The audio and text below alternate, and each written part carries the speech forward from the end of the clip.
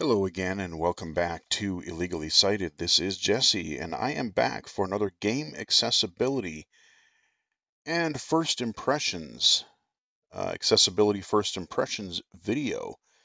And this time I'm going to be talking about God of War Ragnarok for the PlayStation 5. Um, there will be no gameplay footage for this game. I just kind of have the PlayStation Store up here uh, on my the PlayStation Store website uh, for God of War Ragnarok here. Um, due to the embargoes, we uh, I can't have any gameplay footage, but we can talk about it. So I want to give my first impressions of God of War Ragnarok for the PS5. And before we go any further, I just want to let you know that I have been provided a review copy by PlayStation uh, for my honest coverage, my honest thoughts and review of the game. Uh, the full game will be out on November 9th, and I will be able to uh, provide actual gameplay footage and uh, an actual more detailed review and deep dive into the accessibility settings of the release version around that time. So, uh, without any further delay, let's chat a little bit about God of War Ragnarok. I've played a few hours into the game so far, and it's been pretty cool. So, first thing people are going to want to know is, you know, there's been some talk on Twitter. Uh, there's already been some announcements that yes, God of War Ragnarok is going to have some accessibility features, and I can confirm that in fact they do. Uh, one of the best surprises is that when you start the game, the first thing it comes up with, it tells you um, it prompts you if you want the screen reader access. I believe it said, oh, I believe what, what was it like? Hit it was either square or circle um, to enable screen reader access, and then from there, um, it had several settings that you could adjust ahead of time, so you could explore a lot of the accessibility settings, set your subtitles, uh, set your brightness, but just a lot of other accessibility settings as well. And there are a lot here. Um, so that was a very good onboarding process. So even somebody with uh, low vision or who's totally blind uh, will be able to access uh, with uh, text to speech narration right when they get in the game. So yes, there is text to speech narration for the menus, and it was pretty responsive. Um, you know, just I probably spent the first at least 20 minutes just going through every menu, you know, graphics, sound, gameplay, accessibility, and there were options that were kind of duplicated in a couple places just to make sure people didn't miss them. But there's like a lot of volume sliders, there's control options, there's a high contrast mode, kind of similar to um, other Sony titles uh, like The Last of Us or Spider Man. Uh, but this one was really cool because you could also change the like individual colors of like oh i want my enemy maybe or i want my enemy to be a different color than red. Maybe i'm red blue colorblind or red green colorblind or whatever. Um, but you could change that and you could you know whether you wanted the regular background of the game or you wanted um, a different background for the high contrast. And what i really liked was that they had for the touchpad um, you can tap different parts of the touchpad to access like your map and your um, your character sheet. We'll get into that in a little bit. Um, but the swipe gestures, you know, think about The Last of Us 2, where, you know, on The Last of Us, you'd swipe left for high contrast if that was enabled. Swiping up would give you the character information, etc. Um, you could define what the swipes did. So all of the swipes in all four directions were currently undefined, and then they gave you a whole list of things, um, pre-assigned things that you could assign to that direction. So I said, you know what, let's go for consistency, and I enabled the high contrast and I set it to uh, flick left, and it worked great. Um, so that was cool. Like I said, there is text to speech narration. Um, they had its own volume. I can't remember if it had um, narration speed. I can't remember that right off the top of my head. but the voice was clear. Like I said, it seemed pretty responsive, so I didn't really have a problem with that. Um, that was really nice because again, you know, one of the areas where I struggle uh, is reading, you know, reading a lot of text, and just to be able to have that um, narrated was really really helpful. Um, they even they did also have um, separate text size options for subtitles and UI text. So for like menus, I believe they had like, you know, standard, large, and even extra large. So, you know, it wasn't like a full percentage slider, but, you know, it, it, it had uh, larger text options. And the background, uh, I like the fact that the menus were a dark background, light text. I, you know, I prefer a dark theme, so I was pretty happy about that. Um, you know, a lot of people are also going. I know that are going to be covering this game are going to be cover, covering it from a uh, totally blind perspective, which is awesome. Uh, I was thinking about this, and I was kind of looking at it from both a blind and low vision perspective. So if you do have some usable vision, they do have lots of nice low vision uh, features, uh, at least in the, the current review build that I have right now. Um, they had some HUD size options, so you could make the HUD a little bit bigger. Um, they had subtitle options, so you could make the subtitles um, larger and have backgrounds and just customize various aspects of that. So all that was really good. Um, so when you get into the game itself, before you play the game, um, there's a couple things that I would highly recommend. Um, there is a audio glossary because the uh, God of War Ragnarok uses audio cues kind of similar to how The Last of Us 1 and 2 did.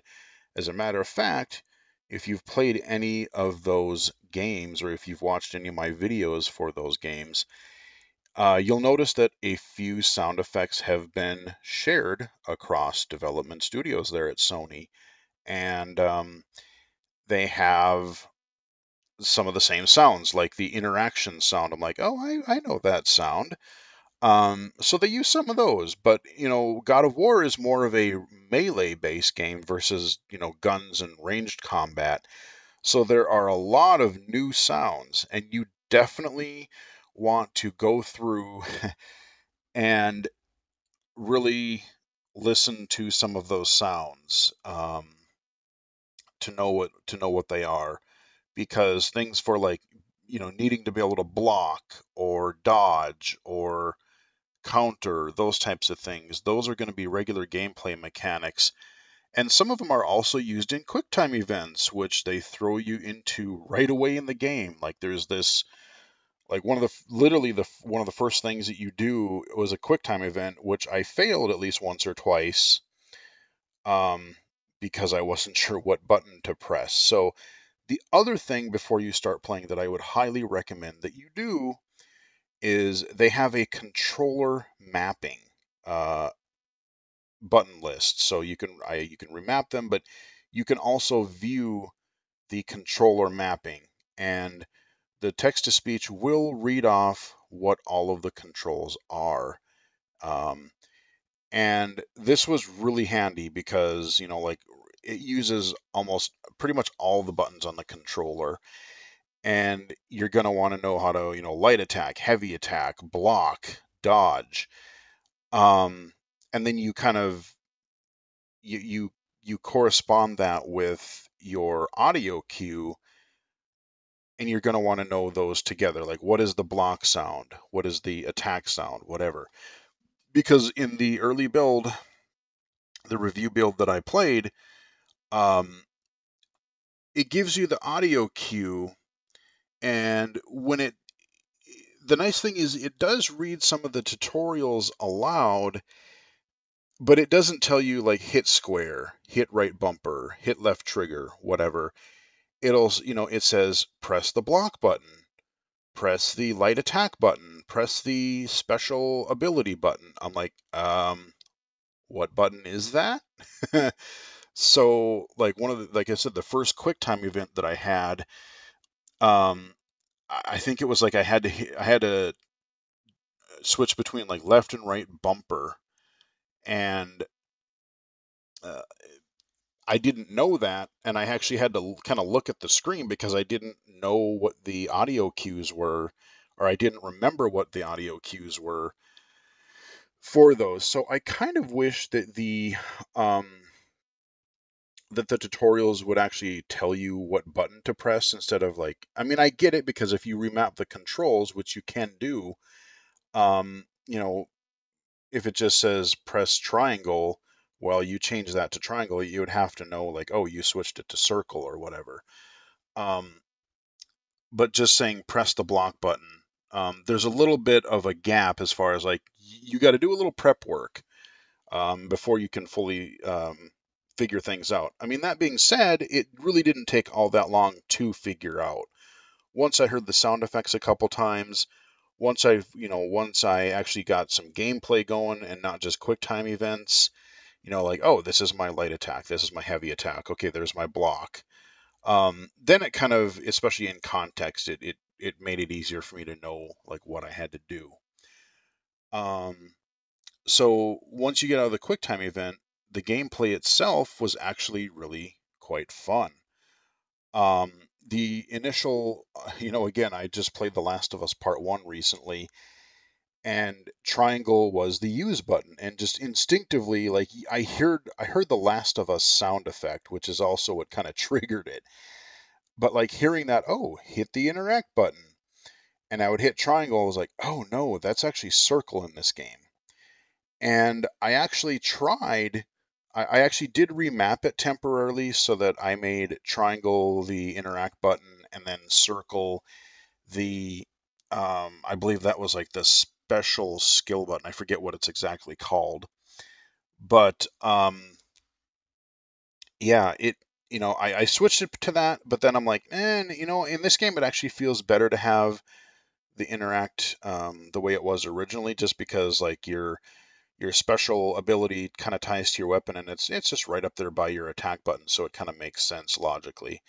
Um, but there was a little bit of a um, there was a little bit of a not a learning curve, but I'm like like I said, I was just triggered by hearing that Last of Us audio cue. I'm like, I should hit triangle. Mm, no, you shouldn't. You should hit this other button.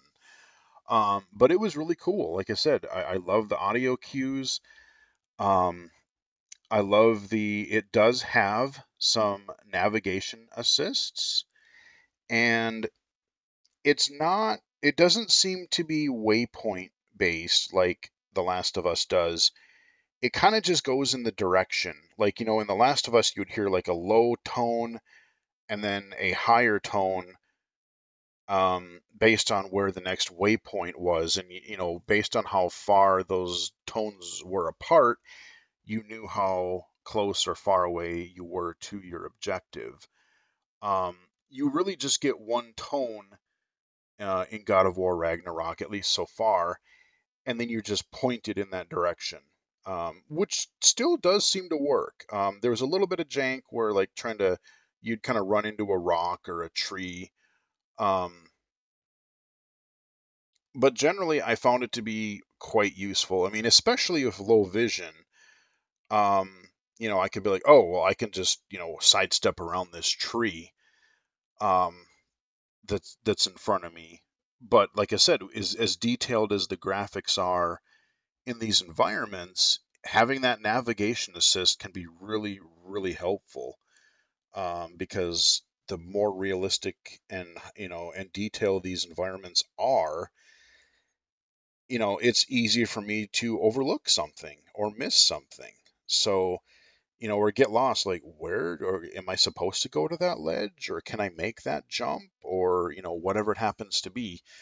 Um, so the navigation assist is, you know, even in, in, even though it's slightly different than The Last of Us, um, it is sort of similar, and it generally worked quite well. Like I really, in the, in the time that I've played, I didn't have any problem navigating um, to where I was supposed to go. Now that being said, you have a lot of other audio cues for environmental sounds like health and armor or health and and other different power ups that you can get or collectibles that you can get. Um, and you may want to play with the audio, um, the audio balancing and volumes and stuff, because, you know, when you have a lot of things happening and you have maybe some music in the background, especially if you're totally blind and you're exclusively relying on your hearing, um, some of those sounds can be a little bit subtle. Um, they do have nice little visual markers. There's like little, almost like little glowy like stems coming out of the ground, so you can kind of see where they are. But they don't have the pinging system where, you know, like in The Last of Us, I could ping for an enemy or I could ping for an object. You kind of just have to like wander around the environment and listen for those audio sounds around you and then you can go pick them up. Now, there are options to automatically pick those up. And one thing I like that God of War Ragnarok is doing is that they are they have a few different settings where you have kind of like a assist and a, an assist mode plus. So like if you want just a little bit of assistance, um, or you want like a full type of assistance mode, you can. And one of those is like when uh, automatically pick up items, like you can have it do just the, okay, I want to pick up health and critical items. Or you can say, do the full shebang and have it, you know, anything that you basically, that isn't nailed down that you can pick up, go ahead and pick it up. Um, so I like the fact that you're given those different types of assists in addition to your different difficulty modes. So you have difficulty modes, you have a lot of gameplay assists. Um, so there's a lot there. Um, I'm just kind of flying off the top of my head. This is meant to be a first impressions video. Like I said, no gameplay. Um, I right around launch time, I will likely do I know uh, like a full deep dive where I go in and like we'll walk through the menus. I'll show you a little bit of gameplay, highlight what is there, what isn't, um, and we'll go from there. But um, my first impressions are generally very strong. Like I said, I you know the story so far. I'm not going to spoil anything in this video, um, but this the uh, story has been rather intriguing so far. Some stuff happens pretty early on the game on in the game that kicks things off pretty well, and I'm definitely curious to see where the story's going to go. Uh, the gameplay is fun. Like I said, I've done some combat. I've done a couple of puzzles. Um, there's been, well, quite a bit of combat. Um, but, you know, the God of War 2018, I really like the style that they had in that game where pretty much the entire game had this whole, like, follow it, it, was like a single camera shot throughout the whole game that would pan between Kratos and Atreus. And um, this seems to be taken like a similar thing. I mean, the presentation style and like just the graphic quality, the voice acting, the music, the presentation is just fantastic. Uh, and I would expect nothing less um, having played the first game um, in this uh, God of War revival. Uh, but you know, and I did play with uh, my 3D headphones, my Sony headset. So again, the sound was really well done. Um, really, the one of the last things I want to talk about as far as accessibility goes in my initial impressions here. I've been very positive so far, but I had one major bummer. There were two things that I really noticed that were a little bit confusing. I'll start with the the little minor one there were, like I said, there were quick time events in the game, and I already talked about, you know, there where you they say press the guard button or press the light attack button. They didn't tell you to press the button, but there was another type of um, kind of a quick time event, but like you would use your one of your weapons to, um, you know, to interact with items in the environment to solve slight puzzles, like like um, like pulling a pillar off to the side or something to clear a path and you would get a sound, um, but it wouldn't tell you like if you were totally blind or even if you were low vision and you weren't looking at the icon closely enough. Uh, you know, I'm thinking about games like As Dusk Falls, where like it would tell you, oh, you know, don't just flick the analog stick, flick it left or flick it right or rotate it left, rotate it right. Um, the example that I can think of, there was, like I said, there was a part where I had to like kind of fling this little rock pillar thing. Um, I think it was like off to the right side, uh, and then I had to fling it back to the left once I got across. Um, but it, you know, it had the sound, but it didn't tell you what direction that you were supposed to flick it. And visually, there was like a little analog stick icon with a like a little arrow pointing to the right. So I don't know if the text to speech could say flick right know flick left or you know even just left or right. I mean you can you can figure it out um, contextually, but I could see that being a little bit confusing, especially if you didn't have any usable vision and you weren't quite sure what you were supposed to do. Um, but the unfortunately, like I said, there's text to speech in the review build that I have, and the menus read great. Um, a lot of the tutorials actually read; they read great. Even when you go into, let's say, you know, you you hit the touchpad to go into your character sheet or whatever, it reads those tutorials fairly well. But my honestly, my my biggest accessibility disappointment so far is that while it reads the tutorials, no, when you're in the game itself, none of the character and pause menu essentially, none of those screens read with text to speech. So early on, like, oh, you need to equip this weapon, or you need to equip this armor, you need to equip this um, augment. You know, you can augment and up kind of you know slot these little gems or whatever into your weapons or armor. Um, it read the tutorials for that, but it did not read. It did not read any of those actual menus. Um, the skill trees. It said, "Hey, you can upgrade your character. Go look at these skill trees." And it read the tutorials, but it did not read the skill trees, and that makes me very, very, very sad because honestly, as far as text to speech goes, those are the those are the critical things that I would want a game like this to speak. Um, you know, I'm looking forward to the game accessibility conference next week, and I was sending a link to somebody who was asking about it, and I ended up just like watching part of um, my session that we did in 2019 because I, like I said, somebody had asked me for that link, and I was watching a few minutes of it. And one of the things that I even stressed then was like, all these games are getting skill trees and inventories and all these upgrade screens and, and all that. I'm like, I can't wait until they have text to speech in them. And we've had several games, like a lot of the Ubisoft games, a lot of the, um, a lot of the, um, you know, like The Last of Us one and two.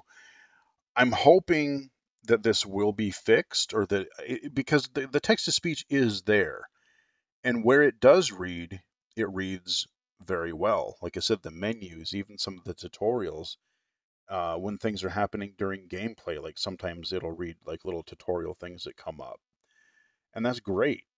Um, so the you know they already have the framework there.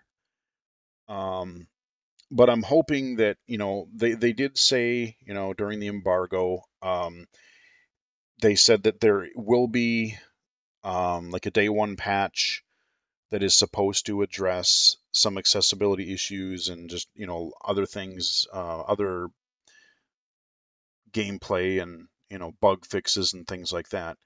So I don't know what those are going to be, but I'm holding out for I'm I'm hoping I'm really really hoping that if they fix any major accessibility thing for launch, pretty please, pretty please, I really really hope that they can add narration you know, even like I, I know the maps are a little bit more difficult. um but like especially just like the vertical menus or like the skill trees, like you can arrow between them. And then another nice thing that they did is you can move by cursor or move by D-pad. You have that option and I set mine to D-pad so it's more of a snap movement through the menu system. That's excellent. So that framework is already there, it just needs to speak. Um, so I really, really hope that they do add text to speech support for those in game character menus, skill trees, inventory, weapons, quests. None of those speak right now, and that's a huge bummer. Um, you know, like if I, you know, if I wanted to, yes, I can magnify it or I can struggle around it. Um, but as good as like the the combat and the navigation and the menu text to speech is, a blind player is not going to be able to independently do that. So we're so close. I think if they can nail the text to speech for those character menus and screens, the, the quests, the skill trees, the weapons, the map, if they can add, if they can add um, and fix the narration for those things, um, it's going to be pretty close to The Last of Us. It's going to be definitely different, um, but it's it's going to be pretty close. So I'm going to reserve, you know, my final review thoughts uh, for after game launch when we have the final launch uh, updates and everything. But my initial impressions, like I said, I've played a few hours of this. I'm going to continue playing it, and I'm going to wait for any updates around launch day. And uh, yeah, I mean, overall, my impressions are very positive so far. Um, just um, like I said, if if they could just fix that text to speech stuff, that admittedly was like I said, I was all excited. We had text to speech everywhere, and then I hit that I hit that touchpad going and and uh, look at stuff from my character and just went, oh no, it doesn't speak. Um, so if they can fix that, we're going to be in good shape. And even if you know, unfortunately, even if they don't for launch, I would say this is something that they could fix after launch. You know, they could continue to work on it. They continue they could continue to patch it. I don't know what's going to happen, but I'm hoping that they do because they have a hell of a nice start so far. That is my impressions of God of War Ragnarok for the PlayStation 5. I will have some gameplay footage and my final full review at or around launch, November 9th.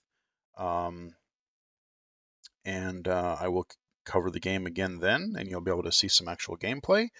Hope this video was helpful for you, and especially if you were considering whether this game would be accessible to you or not. Stay tuned, and I will let you know again around launch. And again, thank you to Sony. Thank you to PlayStation for providing a review code um, for me to check out the game uh, a little bit early and provide this accessibility information to you. So hope you guys enjoyed the video. Give it a like if you did. Follow me on Twitter at BGFH79, twitch.tv slash illegally sighted, illegally sighted.com, and right here on YouTube. Until next time, I will chat with everybody again later.